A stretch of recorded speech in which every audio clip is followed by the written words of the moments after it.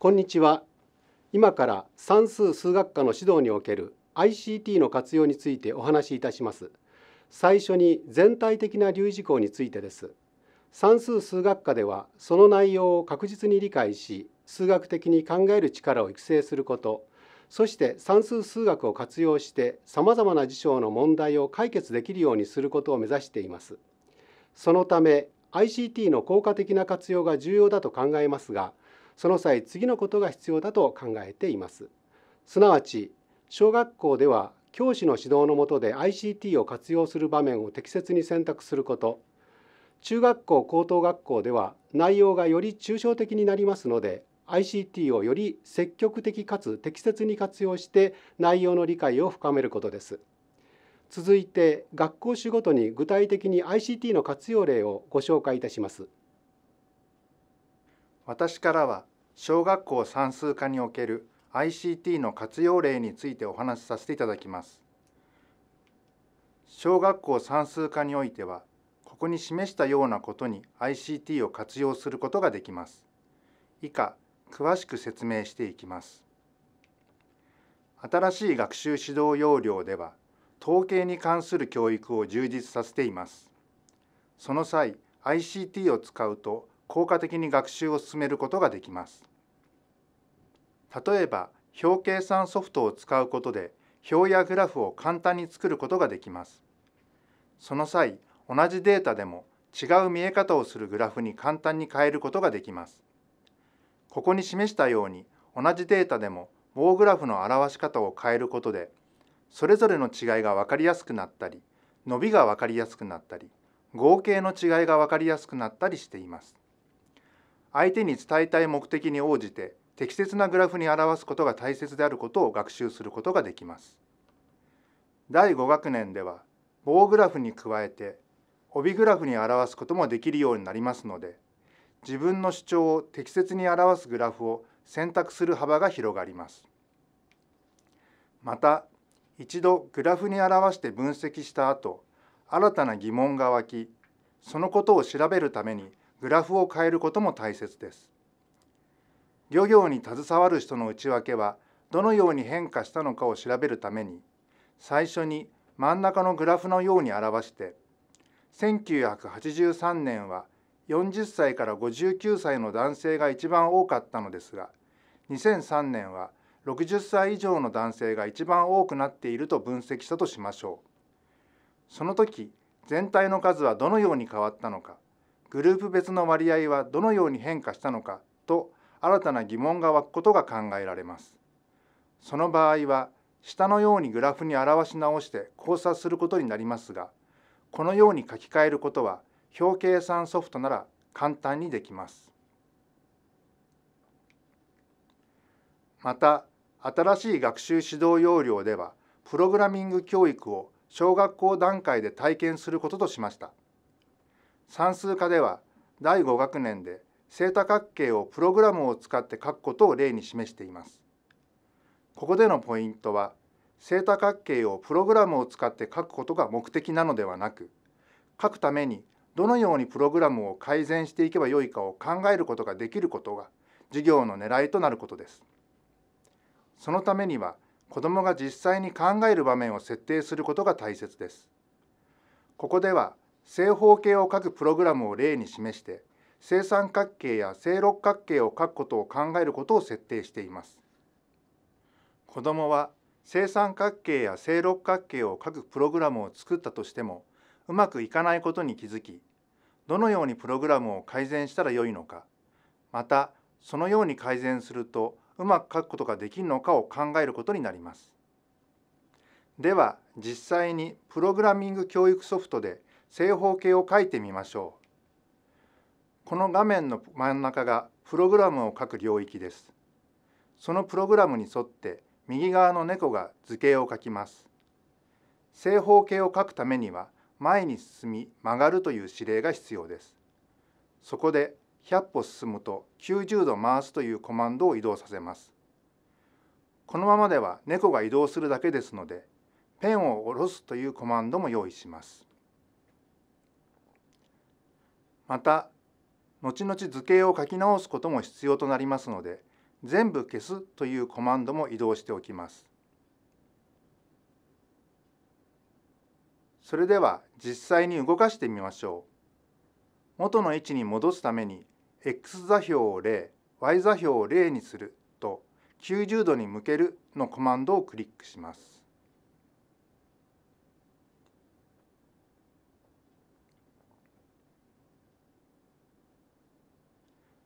コマンドをクリックすることで猫が動きます。100歩進むと90度回すを繰り返しクリックすると正方形を書くことができました。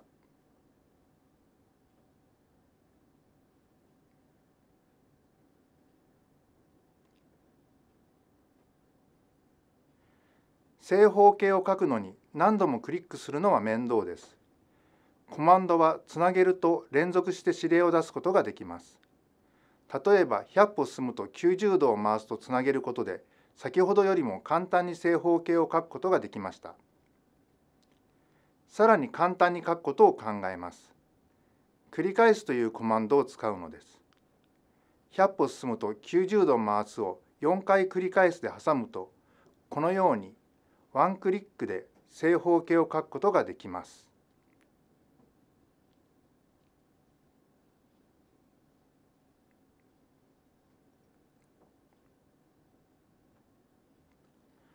ここからが問題です。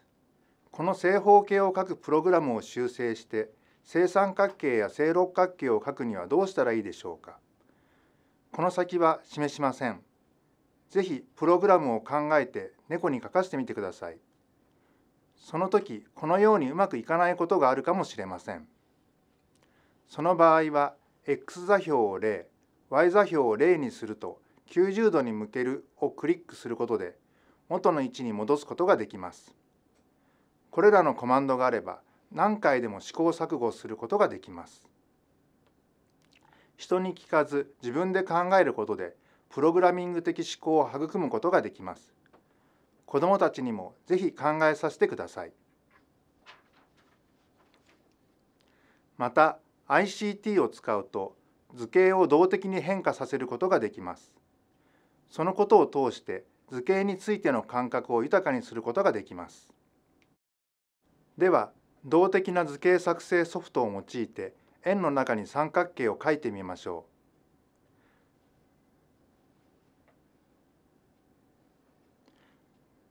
う。まず円を描きます。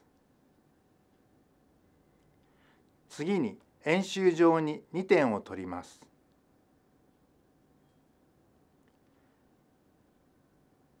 最後にこれらの3つの点を結ぶことで三角形を描くことができました。実際に点をドラッグして動かすと三角形も変化することがわかります。このように自動的に動かすこともできます。この図形を見ることで二等辺三角形が連続的に変化する中で正三角形になることに気づくと思います。次は同心円周上の点を結んで四角形を描く場合です。この四角形は平行四辺形になりますが、平行四辺形が他の四角形に変わる様子を示すことができます。まずは同心円を描きます。次に中心を通る直線を2本引きます。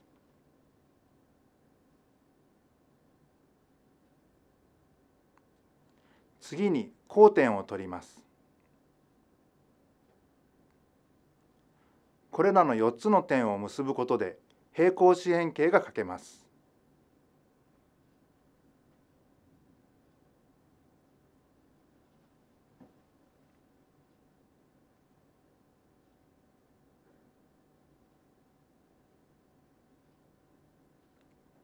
はみ出した線は見にくくなるので修正します。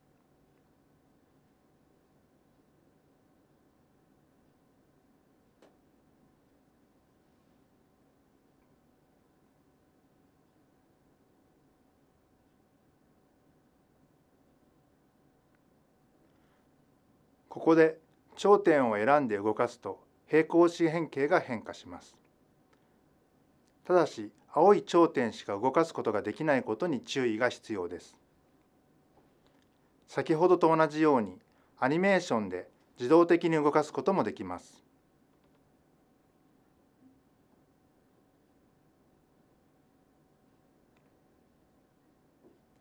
ここで2つの円を重ねたらどうでしょう？平行四辺形が長方形になりました。このようなことも動的な図形作成ソフトを用いると簡単にできるのです。以上が算数の内容に関連した ICT の活用例でした。ここからは算数科の内容に合わせてというより算数科の問題解決の授業の流れに沿ってお話しいたします。問題提示の際問題を拡大して見せることで教科書にある余計な情報を与えずに集中させることができます。また自力解決の際ワークシートを作成しなくても学習者用デジタル教科書に直接書き込むことができるという良さもあります。その時ワークシートを配布する場合でも同時に何枚も配布できるので子どもが多様な考えを形成するのに役立ちます。またワークシートに簡単に書いたり消したりすることができることも良い点です。タブレットを見せ合うことで考えを共有することもできます。さらに大型画面にクラスの考えを一度に見せることができるのでどの考えが多いのかを把握することができます。また子どもたちに意思表示をさせれば傾向をつかむこともできます。子どもたちの解決の様子だけでなくまとめや振り返りなども共有できます。学習した内容をタブレットに蓄積できることも良い点です。子どもたちがつまずきやすいところの指導法をいつでも見られるようにしておくことも可能です。教師としても子どもの解決の様子をその場で確認できるのでその後の事業展開を考えることが可能になる点も良いところです。以上、小学校算数科についての ICT の活用例でした。続いて、中学校数学科における ICT の活用例についてお話しいたします。中学校第3学年の図形の掃除の学習においては次のような活用が考えられます。例えば四角形 ABCD の4辺の中点を結んでできる四角形 EFGH についてどんなことが成り立つでしょうか？ここでは与えられた条件をもとに各自で作図をし周りの友達の書いた図と見比べることから予想することが大切です。さらに教室にパソコンを持ち込み図形を動的に提示することができればどんな場合でも四角形 EFGH は平行四辺形になりそうだという予想が確からしいことを実感することができます。この予想をもとにいつでも平行四辺形になるという事柄を一般的に示すことが証明をするということにつながっていきます。また元の四角形 ABCD が正方形長方形ひし形の時4辺の中点を結んでできる四角形 EFGH はそれぞれどんな四角形になるだろうかといういくつかの特殊な場合に注目してさらに探求を続けることもできます。ここでもし1人1台のタブレットがあれば元の四角形 ABCD が正方形ではないのにその4辺の中点を結んでできる四角形 EFGH が正方形になる場合はあるのでしょうか？いや ABCD が長方形の時 EFGH がひし形になると書いてあるけど本当に信用していいのかな？という課題にも各自で調べ取り組むことができそうです。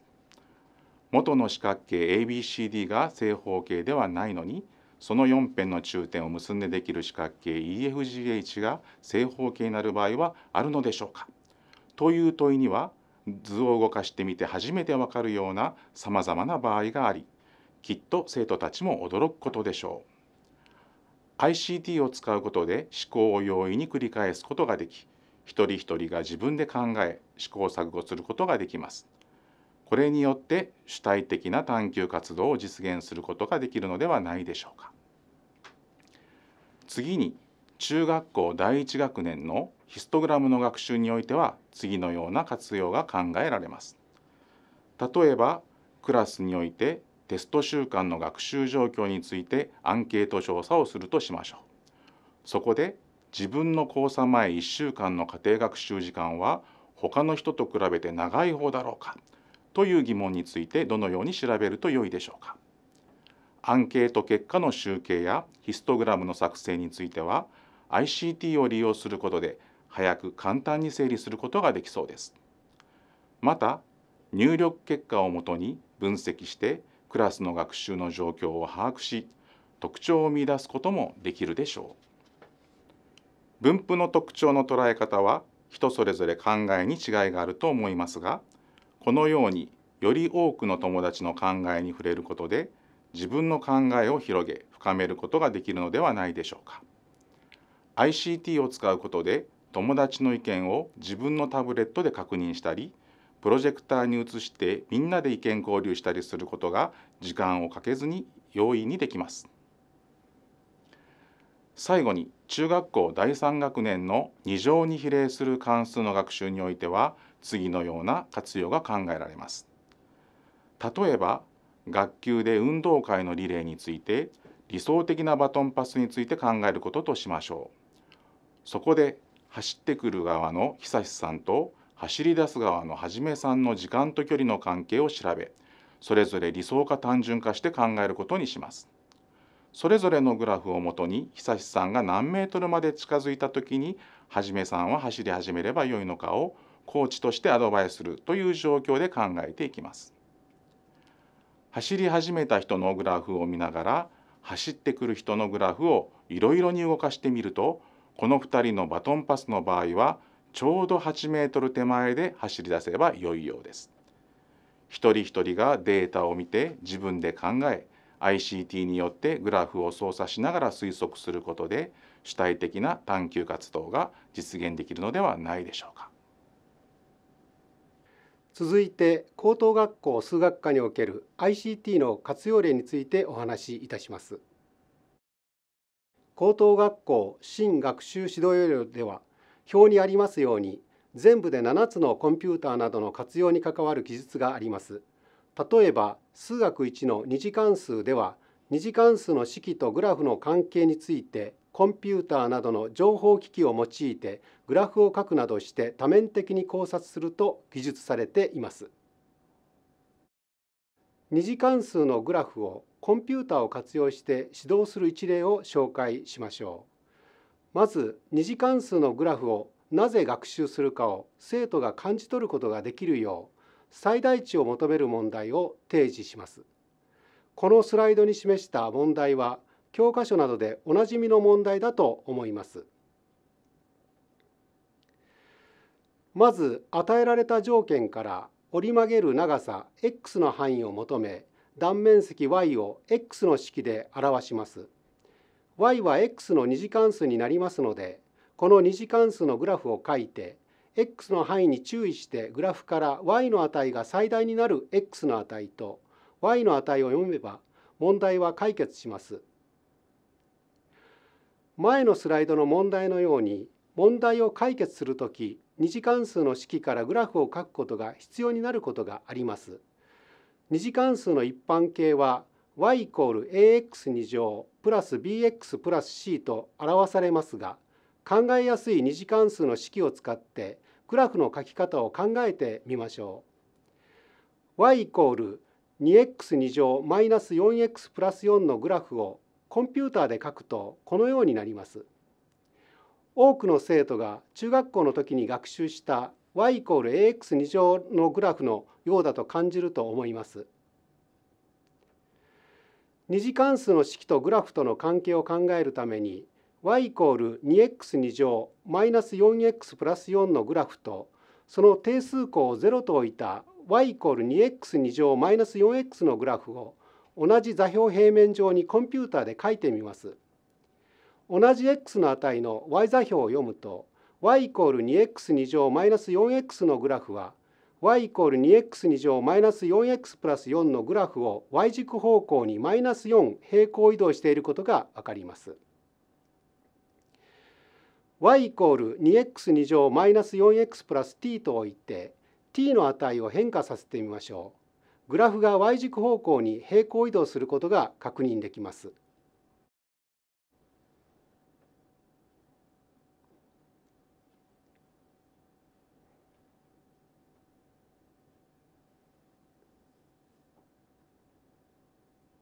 中学校で学習した y イコール 2x2 乗との関係を考えるためにグラフを平行移動して x 軸に接する場合を考えてみましょう。グラフが x 軸に接する時のグラフの式は y イコール 2x2 乗マイナス 4x のグラフを y 軸方向にプラス2平行移動して y イコール 2x2 乗マイナス 4x プラス2であることがわかります。y イコール 2x2 乗マイナス 4x プラス2のグラフと y イコール 2x2 乗のグラフを同じ座標平面上に書いてみます。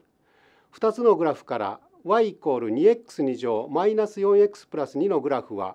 y イコール 2x2 乗のグラフを x 軸方向にプラス1平行移動していることがわかります。なぜ x 軸方向にプラス1平行移動しているのかを考えるために y イコール 2x2 乗マイナス 4x プラス2を y イコール2カッコ x マイナス1の2乗と変形し簡単な表を書いて考えてみましょう。そうすると x 軸方向にプラス1平行移動している理由がわかります。y イコール2カッコ x マイナス t の2乗と置いて t の値を変化させグラフが x 軸方向に平行移動することを確認しましょう。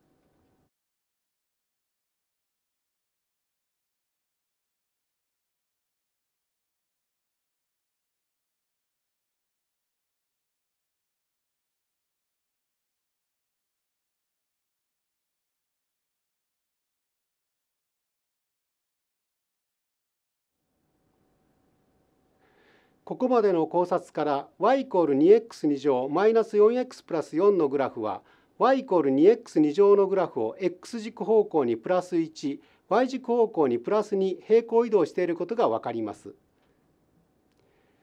これまでのことを式で整理してグラフの書き方を示したものです。家庭で学習している時にもコンピューター等を適切に活用して学習を進めることもできます。このスライドの問題を考えてみましょう。コンピューターで A の値を変化させてその様子を見てみましょう。ゆっくり移動する方が分かりやすければ指導にすると良いでしょ